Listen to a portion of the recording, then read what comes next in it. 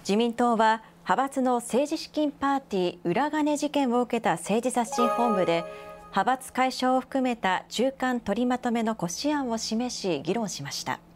参加した議員によりますと反対意見は出なかったということです。今岸田総裁が入ってきました。この後の政治刷新本部で派閥の在り方などを具体的に議論するものとみられます今日で4回目の開催となる自民党の政治刷新本部。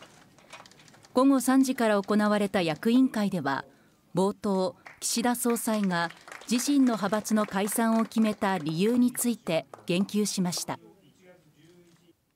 今回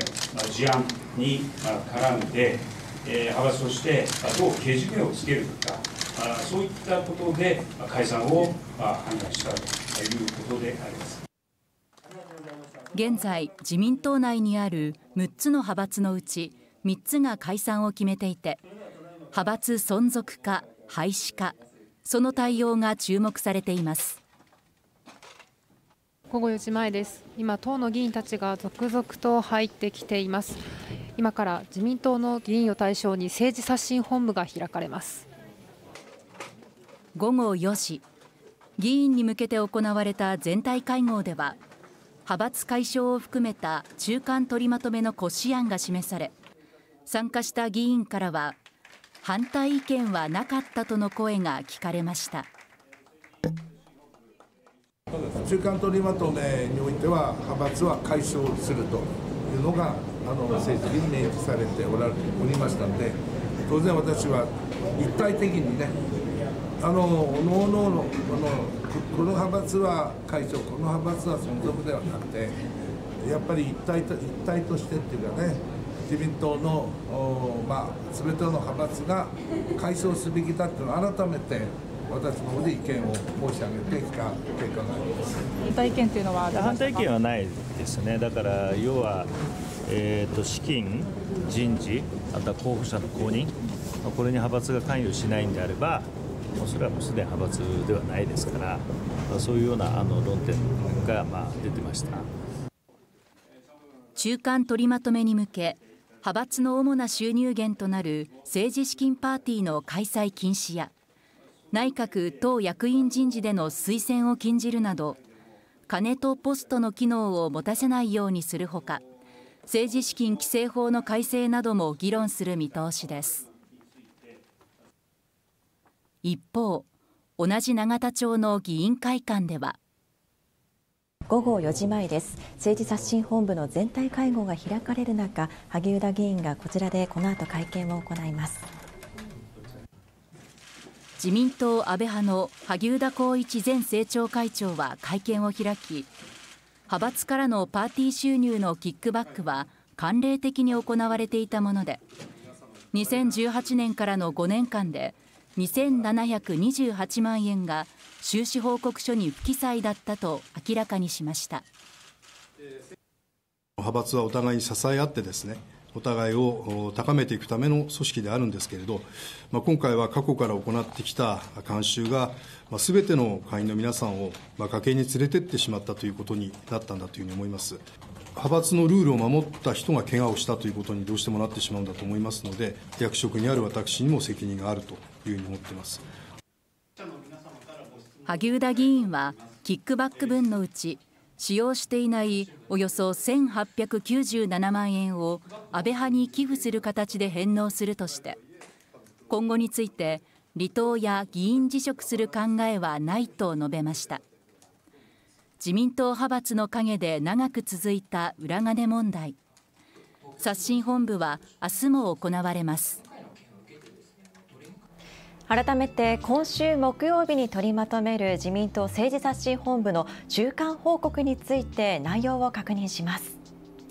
改正案の中身についてですがまず派閥の解消をするのかしないのかという部分です各派閥で対応が分かれる中どこまで書き込めるかが焦点となっていますが派閥を存続させる場合には主な収入源となっている政治資金パーティーの禁止や内閣党役員人事での推薦を禁止する見通しです。今日も私は政治刷新本部の取材で自民党本部へ行っていたんですが総理の岸田破壊さんの影響があるのかピリピリとした雰囲気が立ち込めていましたその一方で複数の議員を取材すると派閥はなくすべきとしっかり取材に応じる議員と私の顔も見ずに通り過ぎる二極化している印象がありましたね。うんこうした中出てきた改正案では派閥の解消以外にも議員に連帯責任を負わせる連座制の導入などの罰則強化や党本部による監査組織の設置そして政治資金のデジタル化や可視化などが検討されています。改革に向け中間取りまとめでどこまで踏み込めるのかこの連日話し合いが行われていますが鈴木さんはどのように見ていますか？あの、まあ、今説明してくれましたよね。はいこういうふうに例えばあの連座制を導入するとかね、それから監査組織を作るとかパーティー禁止とかやるなら別に派閥あったっていいじゃないですか。そう思いません？これ矛盾してませんか、つまり何が言いたいかというと岸田さんがいきなり派閥解散だって言ったのは、順序が違うってことです。で僕はもう前から言ってますけどまず今回の事件、えー、今日萩生田さん会見してたけどもあらゆる議員がキックバックを受けてた議員がどうやってキックバックしていたのかその手法方法いくら何に使ったかそれを今回全議員がまず全部出すことこれが最初じゃないですか？それをやらないでねいきなり一足飛びに派閥解消っていうとこれはね、まあ、目先で何かやってる感を出すっていう僕は判断だと思います。だから岸田さんはねやっぱりやる順番がこれ全然違うと思いますよ。そういうことをやらないでこのままずるずるいってああよくやりましたねってさっきみたいにね。これでいいんですか、ね、僕はその辺は有権者国民は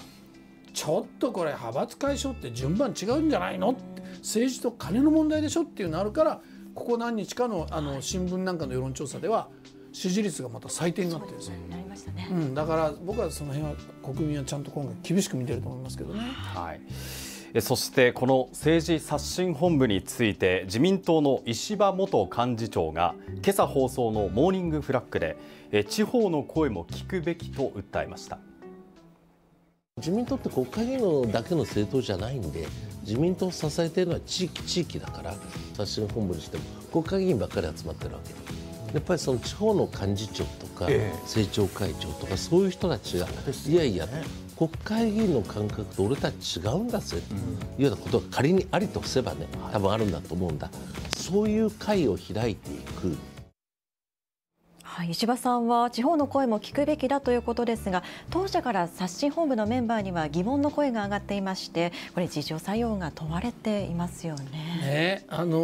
ー、自分たちのことを自分たちでっていうのは、ろくなことにならないっていうのが今回の事件でしょ。そしたらやっぱりねその第三者を入れるとか、それから石破さんこれ地方の声と若手の声っていうのはこれね12月からもうずっと言ってたんですよ、僕も話しててね。だからこれ本当そうです。地方組織なんだから自民党っていうのは、だからここがやっぱり声をもっとこう吸い上げるべきだしここがもしかして次の選挙戦えないなんていう声になったらね岸田さんアウトですよね。そういう意味では地方の組織にもっとあの声を聞くべきだってこれは真っ当な僕は意見だと思いますよ。うんそしてあの一方派閥についてなんですが、うん、岸田派、安倍派、二階派が解散を決め森山派も解散が有力視される中麻生派と茂木派は解散に慎重な姿勢をとっています、うん、麻生さんは相当怒っている情報も入ってきていますし 今日あの表情を見ますとかなり厳しい表情をしていた印象を受けたんですけれども、この鈴木さんは今後どうなっていくと思いますだか？ら結局麻生、茂木両派閥っていうのは岸田さんを支えるある種主流派だったわけですよね。えー、そ、ね、こにろくなまあ相談もなくポーンとい。ったっていうことに対してやっぱり極めて麻生さんも茂木さんも反発持ってる、はい、それから麻生派の議員茂木派の議員結構話しましたけど